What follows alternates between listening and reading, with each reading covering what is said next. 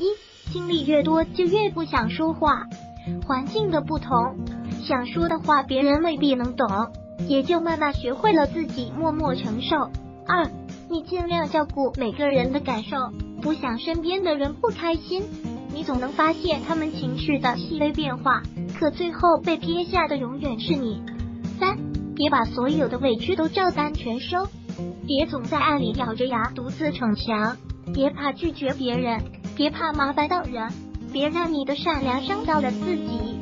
四，没人在乎你怎样在深夜痛哭，也没人在乎你辗转反侧的要熬几个秋，外人只看结果，自己独撑过程。等你明白了这个道理，便不会再在人前矫情，四处诉说以求宽慰。五。有时候人就是这么奇怪，受了天大的委屈都不会吭声，但听到安慰的话却会泣不成声。别总因为迁就别人就委屈自己，这个世界没几个人值得你总弯腰，弯腰的时间久了，只会让人习惯于你的低姿态。你的不重要，凡事都有度，低调过度会被认为低能，好人过度会被认为傻子。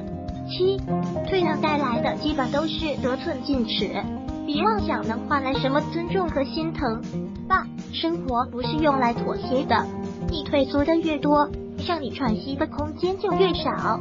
日子不是用来将就的，你表现的越卑微，一些幸福的东西就会离你越远。九，我承认我没那么坚强，这是一而再的逞强。十，只有有人在意，委屈才算得上委屈。害怕才是真的害怕，没人理解的委屈和害怕，便是矫情，多可笑。十一，有时候我们明明原谅了那个人，却无法真正快乐起来，那是因为你忘了原谅自己。十二，不是所有的伤痛都能说，人久了也就习惯了；不是所有的委屈都能倾诉，想通了也就释然了。十三，最难过不是大吼。是痛到最深处，喘不上气，手发抖，连泪都得忍着。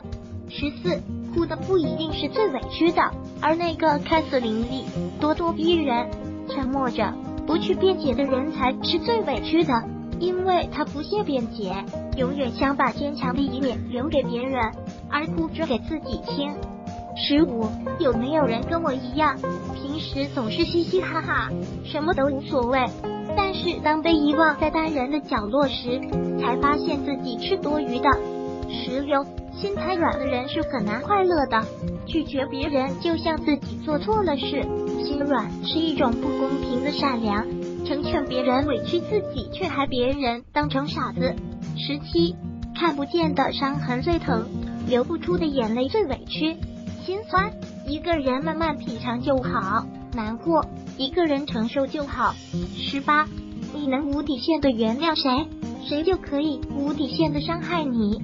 十九，其实许多事从一开始就已料到了结局，往后所有的折腾都不过只是为了拖延散场的时间。二十，我们最后都会笑着接受所有的不欢而散。如果喜欢本视频，请分享并订阅本频道。